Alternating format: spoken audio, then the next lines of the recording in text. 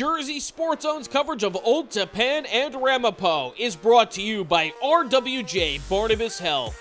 Hey, what's going on, everyone? I'm Jay Cook with JerseySportsZone.com here in northern Bergen County.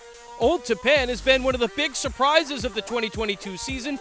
They're undefeated, and their defense has pitched a trio of shutouts. But they face their toughest test of the year. Ramapo comes into this game on a two game losing streak something that hasn't happened in the last six years. With All-State quarterback Jack Grusser out with an injury, Landon DePrima got the start under center, and Old Tappan takes advantage early. Aiden Heaney has the pick on Poe's first drive. Next play, Old Tappan takes a shot. Tommy Caracciolo finds Jack Diggins in stride for a 27-yard touchdown. Old Tappan with an early statement they lead 7 0 just like that. Ramapo responds on their next drive DePrima to Benny Robinson. He's got moves. Robinson dives for the pylon, but he's ruled down at the two yard line. But these two connect again. DePrima fades it up for Robinson. He's got a foot down for the touchdown. Ramapo gets on the board, and it's a 7 7 game after one. Early second quarter, Old Tappan closes out a nice drive with Aiden Heaney. He races to the zone from 11 yards out, and the Golden Knights are back in front 14 7. Ramapo answers right back. DePrima goes deep downfield. Nate Burleson Jr. is wide open. Burleson Jr. goes 66 yards on a house call. The extra point is no good, so Poe trails 14 13 with 9.35 left in the half. Both defenses came up with big plays later in the second quarter. James McGarrico intercepts the overthrown pass. That takes the Golden Knights out of the red zone. But Old Tappan came up with a stop as well when Evan Brooks intercepts the tip pass. Brooks is a junior to watch this season. But Ramapo gets one more chance before the break from the 15. Landon DePrima keeps it himself, and he turns on the Jets. No one will catch him. 85 yards for Landon DePrima. That's incredible speed. Ramapo misses another extra point, but they go into halftime leading 19 14. In the third quarter, the Golden Knights take back the lead on special teams. Ronan Malady blocks the punt and recovers it for six. Tappan converts a two point try after the score, and they lead 22 19 with 7.29 left in the third. The Raiders get the ball right back, and DePrima takes another shot.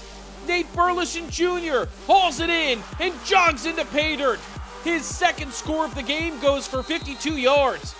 That makes it 25 22, and the offense stays on the field for two. DePrima goes on the move, and it's Robinson who hauls in the conversion. At the end of three quarters, Ramapo is up 27 22. In the fourth quarter, Ramapo is running wild. Ethan Moran is a bruising runner, and this carry has shades of Marshawn Lynch's Beastquake run in Seattle. Moran goes 52 yards down the sideline before he's pushed out. Ramapo is deep in Old Tappan territory.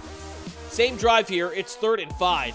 Will Scordado snags it, but he's cut down by Brooks, short of the line to gain. So what does Ramapo do? They send out Anthony Dabrowski for a 33-yard field goal, and it's good. Poe now has an eight-point lead with eight minutes to play. It's 30-22. And from here on out, the story was about Ramapo's defense. They made it nearly impossible to throw the ball. Matt Bedrin goes down to snag this one for the diving pick. And then on the final play of the game, Jack Dentz has the interception. This seals the win for Ramapo. The Raiders snap a two game losing streak while simultaneously ending Old Tappan's hopes for an undefeated season. 30 22 is the final. Landon DePrima was stellar. Three touchdown passes and an 85 yard touchdown run highlighted his breakout game.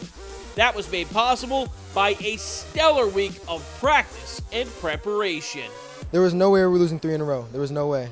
We came out tonight, we had nothing to lose. We were picked to lose this game. You know, we had nothing to lose. We played our hearts out, and the final score showed what happened. I mean, just team chemistry and coming together as one. That's our team motto, always has been.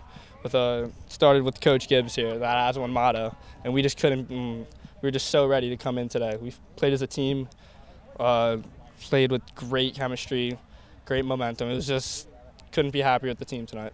Reporting from Old Tappan, I'm Jay Cook, JerseySportsZone.com.